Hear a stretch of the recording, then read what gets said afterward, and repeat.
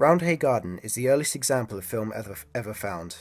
Made in 1888 by Louis Le Prince, it consists of just two seconds of film and runs at about 12 frames per second.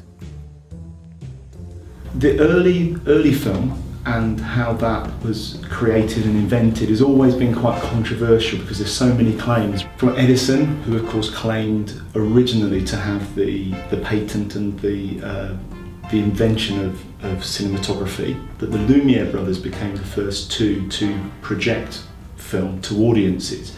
And in that way, I think they're considered to be the fathers of cinema and film, projected film. People may be familiar with is the arrival of the train.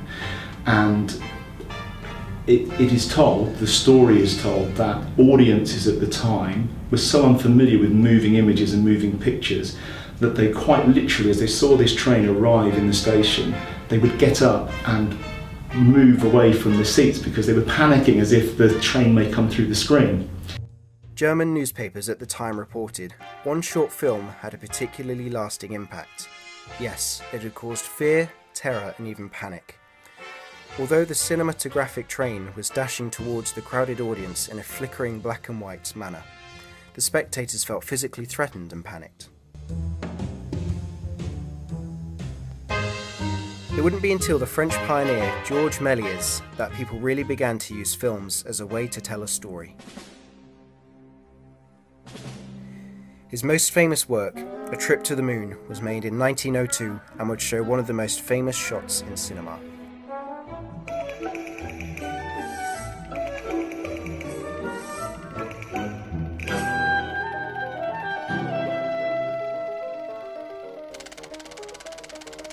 1903 would mark one of the first landmarks in cinema, with the early film studio, the Edison Factory, producing The Great Train Robbery. The 10 minute film would be the first Western film and would pioneer in special effects and editing. Great Train Robbery was significant for a number of reasons. Firstly, it's the first time that we see what we now consider to be the, the, the genre of westerns.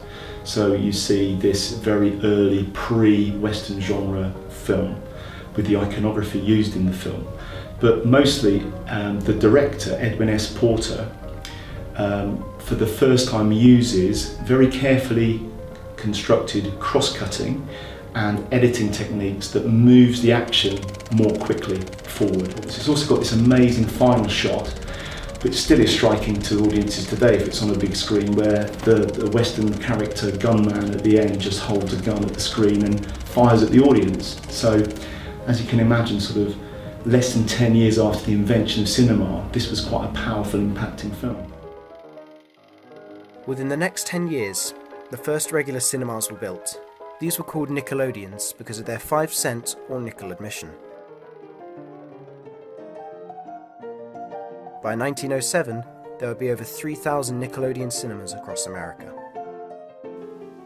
But by 1912, cinemas were being built on a much grander scale and were nicknamed palaces. Along with the now much grander scale of the movies, admission prices doubled, and by the 1920s, motion pictures were becoming a big business. One of the most prominent figures of the cinema began his career within the silent era. D.W. Griffith began in 1908 by directing The Adventures of Dollie. He made around 450 motion pictures between 1908 and 1913, but a majority of these are lost or destroyed. His greatest achievement would be in the 1915 with the epic The Birth of a Nation. Birth of a Nation is significant because it's it's a three-hour silent film. So it wasn't the first ever feature, but it certainly is and was the most significant feature film of all time and the most successful transition from film being thought of as a kind of curiosity, moving the new moving pictures into becoming an art form. Highly controversial now, and, and rightly so because of its inherent racist content. It tells the, the story following the end of the Civil War um, from the perspective of the southern states and it has this unfortunate portrayal of the, the Ku Klux Klan as quite heroic figures saving people from uh, the worst excesses of, of black African uh, Americans in the, in the South. The star of the picture was Lillian Gish, who had worked with D.W. Griffith since the beginning of her career in 1912 in the short film An Unseen Enemy. Very quickly, Lillian Gish seemed to have this very natural talent for acting and uh, performing on screen, very compelling. And she became um, a very highly regarded, renowned, and well paid and much loved silent film actress as she moved towards the end of the 20s she was so powerful that she would be able to choose the, um, the screenwriter for her films and choose the director. So, so she had a lot of power in the system, I think, as she was a very powerful woman. And I think she contributed significantly to film history, not just as an actress. As a child, she moved to New York and became friends with the next door neighbour, Gladys Smith, who worked as a child actress for D.W. Griffith. Gladys took the stage name of Mary Pickford and began her career in motion pictures in 1909. Mary Pickford was, uh, was working with D.W. Griffith in some of the biograph shorts. And again if you look at those lovely films from 1910s too you can see her in these wonderful sequences. She she was so popular in the biograph films with Griffith that fans would write in and say who's that woman who is in this film? And um, under some pressure, her name was released as Mary Pickford, and she was confident enough to say to Griffith, who was the the finest filmmaker of the time, probably, and certainly the best known and very popular, um, that she was prepared to leave the studio to go independent. Clara Bow was part of the first generation to grow up on motion pictures and won her chance to appear in the film Beyond the Rainbow. After one viewing, her scenes were to end up on the cutting room floor. She appeared in over 30 films until her performance in the 1927 film,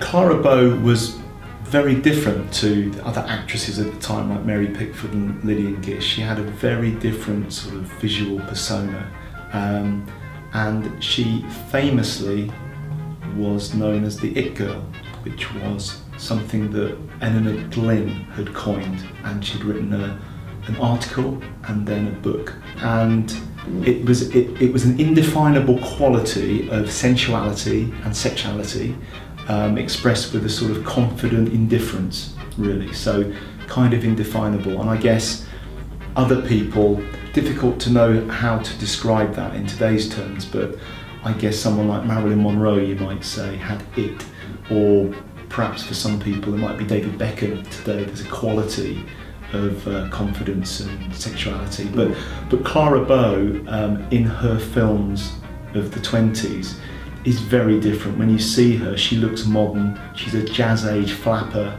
and she's um, she's open to. She's not bound by the conventions of the time. She's got it and plenty of it, brother, she's got it. I never saw another have so much of such and such. Well, she's really not exquisite, but after all, what is it? Lips and eyes. Million others, still what made me fall. Why, it ain't that, and that ain't it. That is that, and it is it, and she's got it. That's all.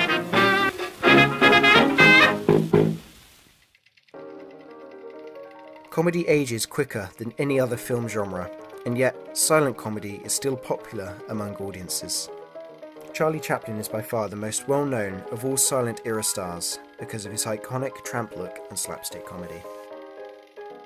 He had this innate comic genius in his bones and in his body that was able to produce a performance that was balletic and athletic, um, exquisite timing, um, so you see something like The Rink, where he's on roller skates doing this dance, a ballet with um, with the, the other performer, and uh, it's just extraordinary to see him perform in that way. And what was different about Chaplin and, and significant and important was his ability very early on to take over the reins of directing as well as acting. So he became the creator of his own work, he would write his own work, he would direct his own work, and very quickly produced his own studio, his own ensemble that he would work with. And there weren't many people that had that kind of control over their work in the 1920s.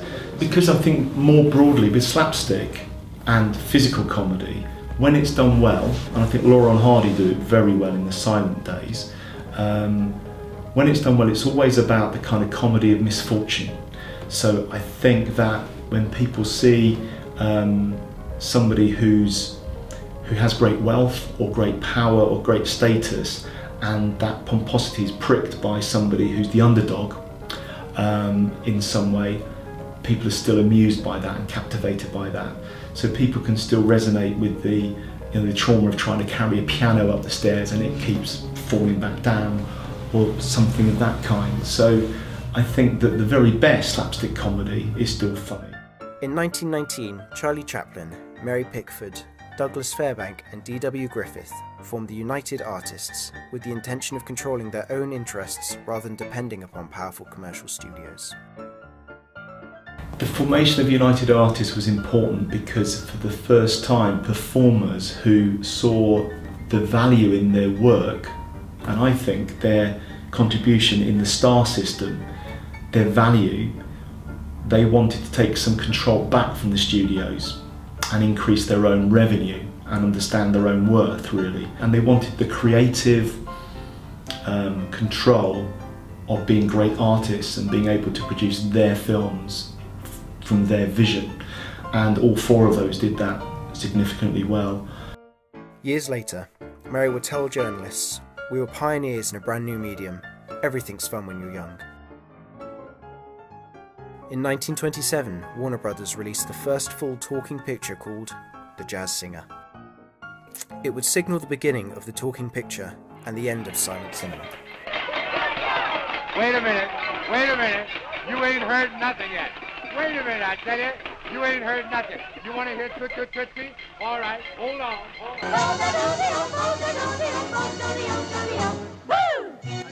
on. After The Jazz Singer was released, the studios were, were reluctant to come on board with Warner Brothers because they thought it was just a fad and it would pass.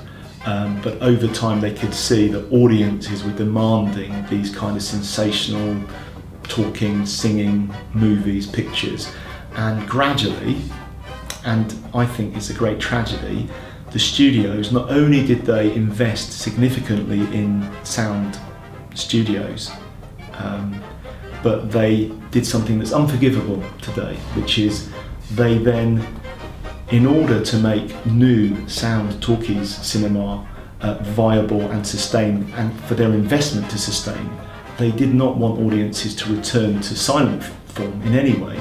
So they then began to uh, give uh, audiences the impression that new talkies were everything and old-fashioned silence, they were terrible and they were antiquated and they were basic and they were simple and they were uninteresting. And I think that them demolishing their previous work has led to them not being archived. In 2013, it was estimated that 70% of American silent films are lost or in an incomplete state. Silver was, um, was recovered from the films, so the value of the film stock was greater than the content of it, whereas now we don't think in the same way. That's one of the reasons, plus nitrate footage was incredibly fragile um, and combustor inflammable. So uh, a lot of the film was lost because of accidents and fires in archives and this kind of thing.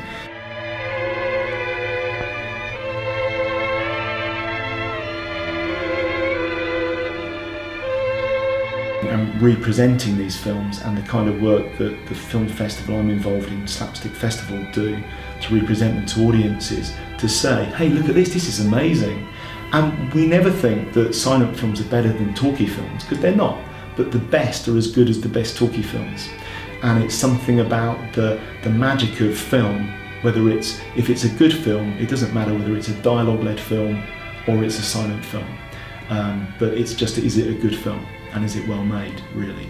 So it, the development of film transformed through this dramatic kind of collapse of silent film through the jazz singer, and a lot was lost, and we have gained a significant amount since. And you still have films like The Artist being made, so there's still an opportunity to celebrate that medium, but to all intents and purposes, it's it's it's not the same today and would never be the same again. When D.W. Griffith was asked why he didn't like talking pictures, he replied, It is my arrogant belief that we have lost beauty.